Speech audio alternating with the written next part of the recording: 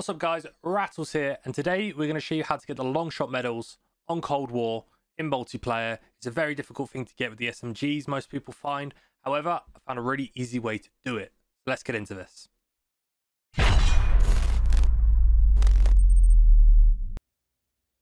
Okay guys, so the way we're actually going to do this is Hardcore Nuketown Holiday 24-7. And you're probably going to say to me, this isn't a big map. Correct, this isn't a big map. However, common misconception is long shots aren't based on how long the shot is. It's actually about how long the shot is on a selected map. So Nuketown, a 20 meter shot counts as a long shot, which is like one end to the other.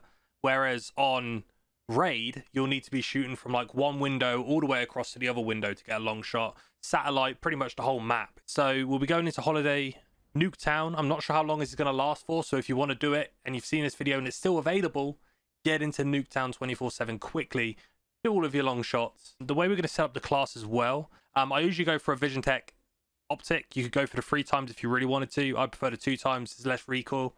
Uh, the barrel, go for an extension of effective range. It increases your damage to make it a one shot with most weapons. And then for the body, go for a flashlight or a designator. Um, I go for the target designator because the reveal ADS 60%. Um, and I, I think that's the best one there is. Um, but it's up to you, obviously. It just helps. Long range, you can see better. As for perks, cold blooded. It's the only recommendation I have. One of the spots you go is quite dark, so if you have a thermal, you won't show up, and the target designator also won't show you up, obviously, because the little red dot doesn't get shown up when you have the cold blooded perk. So let's uh, let's jump into this. So we'll run down here into this little spot here, and now we just wait. Oh, it's someone there. There you go. Long shot. Boom. First long shot. So certain weapons are actually one shot across the map all the time, which the Milano, for example. Milano's a very good one. There's another long shot. we get another kill there.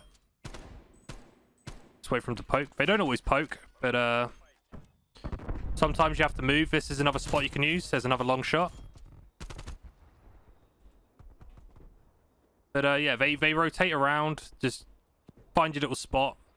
Um, over this side as well is obviously spots around here as well. This is a good spot I like. Is uh, you can lie down here. Anyone who comes around the bus. So anytime you do get killed, you can just rotate to a new spot. Um, there's multiple different spots available. This one's a very good one. There's a guy up in the window there. There's a kill. Long shot. Then you have this option, so you uh, can climb up on here. Out wide. And then you can see long down here.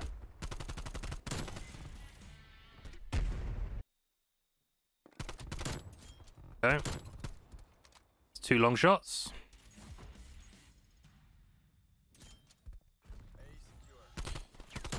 Another long shot.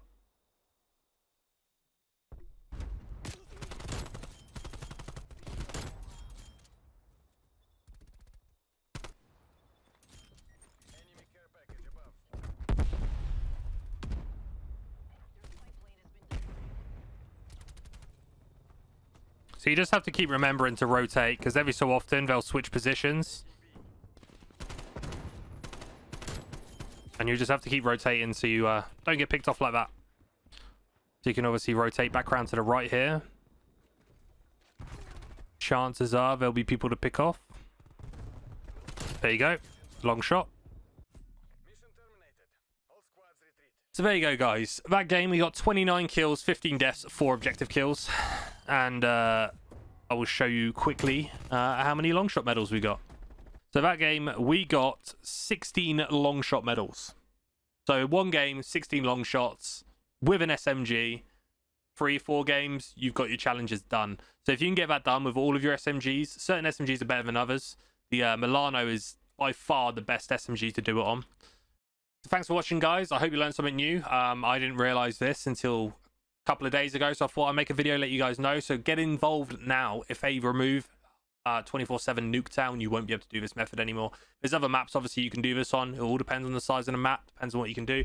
But having to run around hardcore lobbies if you don't like hardcore. I don't really like hardcore anymore. Maybe search, but that's it. Um, it just helps. You can get everything done. You could, if you if you sat and just went right, I'm going to grind long shots for a day. You could probably get five, six, seven, eight guns complete in a single day for long shots and then you don't have to worry about them. They're one of the worst ones to do. So yeah, I hope you learned something. Thanks for watching, and I will see you guys next time. I'm Rhattles, and peace.